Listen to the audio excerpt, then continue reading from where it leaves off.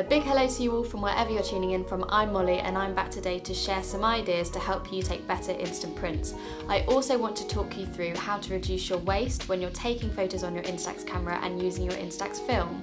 Now, these tips apply to any film camera, so if you don't have an Instax camera in particular, not to worry, you can just use the general information in this video to help you. So jumping straight in, firstly, simply paying attention, taking your time, checking your exposure settings.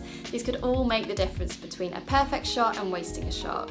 Um, it's also really important to ensure if you're taking photos on an Instax analog camera, for example the Instax Mini 11, this one here, that when you're pointing your camera, you're not pointing it directly at a very bright light source because this could let too much light into the camera and overexpose your film. Uh, instead, just slightly twisting your position where your camera's facing and that could simply avoid this, really, really easy.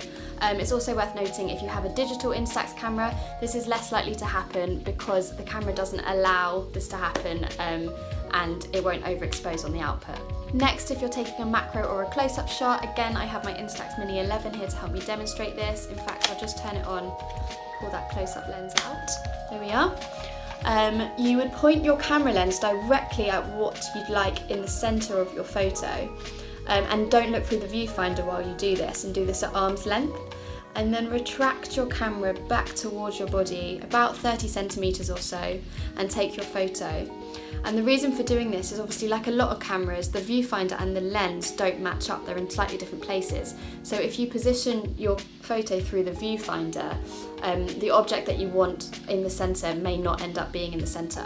And speaking of positioning, also consider where you're taking your photo from. Now it's really common to take a photo at head height because that is where we see the world every day, that's what we're used to, but I really like switching up, getting lots of different types of angles um, and just seeing what comes out the camera. One of my favourite uh, angles is from a really, really low and then pointing the camera up, getting some graphic ceiling lines in maybe or a bright blue sky, um, just different things that we don't see every day.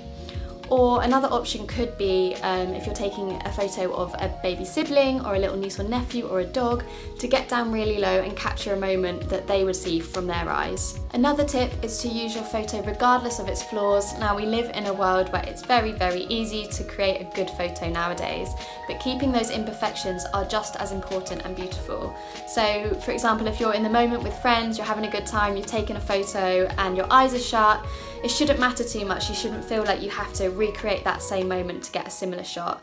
You can see here there's a photo of my puppy Alfie and he's got his eyes shut, but he still looks as cute as ever. And lastly, a reminder that photography film is extremely sensitive to the light, so you don't want to be exposing any of this film before your image is taken. Um, I would recommend storing your film inside the packaging until you need to use it in a cool dark room. If you do accidentally open up the back of your camera or even take the film cartridge out while there's still film inside your camera, um, I wouldn't assume that it's all ruined, that all the film is ruined. Um, yes, depending on how long it's been outside the camera, you may lose a couple of shots, but it's likely that you will be able to rescue some of that film, so it's definitely worth giving it a go. Um, you may even find that you get a cool couple of light leaks coming into a few of the photos, which can give you a really bespoke cool effect, and to be honest, just adds to the beauty of film photography. Thanks so much for watching and I hope this helps you take better instant prints. Remember to share and tag Instax in the images you've been taking on social media.